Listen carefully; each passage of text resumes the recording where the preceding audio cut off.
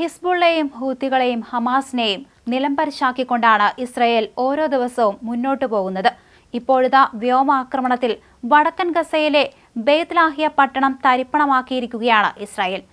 ബേത്ലാഹിയയിലെ ജനവാസ കേന്ദ്രത്തിന് നേരെ ഉണ്ടായ ആക്രമണത്തിൽ നാൽപ്പത്തിയെട്ട് പേർ കൊല്ലപ്പെട്ടു.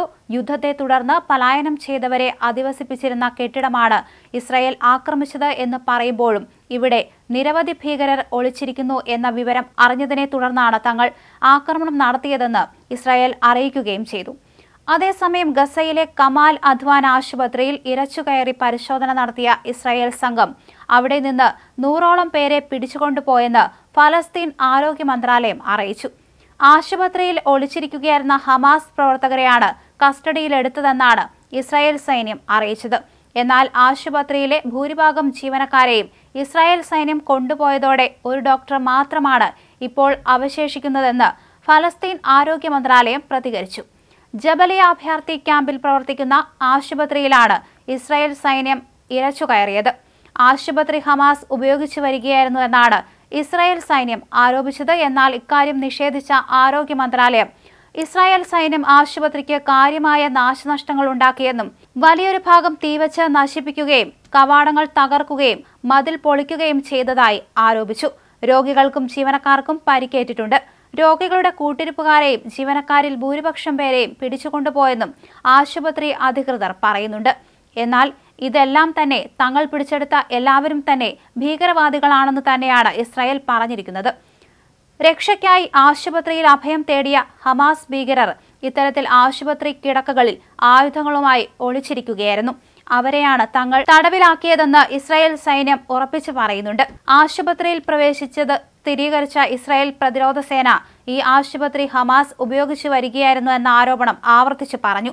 ആയുധങ്ങളും പണവും ഹമാസുമായി ബന്ധമുള്ള രേഖകളും ഇവിടെ നിന്ന് കണ്ടെത്തിയതായും ഒക്ടോബർ ഏഴാം തീയതിയിലെ ആക്രമണത്തിൽ പങ്കെടുത്തവർ ഉൾപ്പെടെ ചില ഹമാസ് പ്രവർത്തകർ ഇവിടെ ആശുപത്രി ജീവനക്കാരെന്ന വ്യാജേനെ കഴിഞ്ഞു വരികയായിരുന്നുവെന്നും ഇസ്രായേൽ സേന ആരോപിച്ചു. ആശുപത്രിക്ക് കുറഞ്ഞ നാശനഷ്ടങ്ങൾ മാത്രമാണ് വരുത്തിയതെന്നും ഇസ്രായേൽ സേന വാദിക്കുന്നുണ്ട്.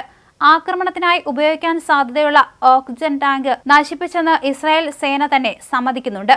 അതേസമയം ആളുകളെ നഗ്നരാക്കി പരിശോധിച്ചെന്നും ആശുപത്രിയിൽ ഉണ്ടായിരുന്നവരെ ഒഴിപ്പിക്കാൻ ശ്രമിച്ചെന്നും ആശുപത്രിയിലെ നഴ്സുമാരിൽ ചിലർ പിന്നീട് അറിയിച്ചു.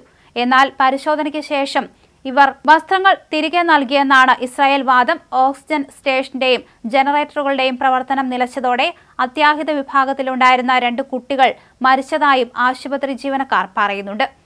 അതേസമയം യു എൻ ദുരിതാശ്വാസ ഏജൻസിയായ U N R W A രാജ്യത്തിനകത്ത് പ്രവർത്തിക്കുന്നത് നിരോധിക്കുന്നതിനുള്ള നിയമം. ഇസ്രായേൽ പാർലമെന്റ് തിങ്കളാഴ്ച പാസാക്കി. ഇത് ഗസയിൽ മാനുഷിക സാഹചര്യം വഷളാക്കുമെന്ന് ഭയപ്പെടുന്ന ഇസ്രായേലിന്റെ ചില പാശ്ചാത്യ സഖ്യകക്ഷികളെ ഭയപ്പെടുത്തിയിട്ടുണ്ട്.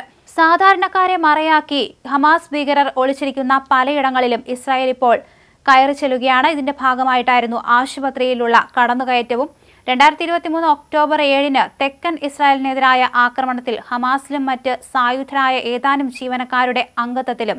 ഫലസ്തീൻ അഭയാർത്ഥികൾക്ക് വേണ്ടിയുള്ള ആയിരക്കണക്കിന് ജീവനക്കാരുടെ പങ്കാളിത്തം നിയമത്തിന്റെ കരട് തയ്യാറാക്കിയ സെനറ്റ് അംഗങ്ങൾ ഉദ്ധരിച്ചു. രണ്ട് വടക്കൻ ഗസ പട്ടണങ്ങളിലേക്കും അഭയാർത്ഥി ക്യാമ്പുകളിലേക്കും ഇസ്രായേൽ ടാങ്കുകൾ കടന്നു ചെന്നു ഒരു ലക്ഷത്തോളം സാധാരണക്കാരെ ഇത് ബാധിച്ചു. ഹമാസ് ഭീകരരെ പുനഃസംഘടിപ്പിക്കുന്നതിനുള്ള പ്രവർത്തനങ്ങളാണ് ഇസ്രായേൽ സൈന്യം നടത്തിയതെന്ന് ഫലസ്തീൻ എമർജൻസി സർവീസ് പറഞ്ഞു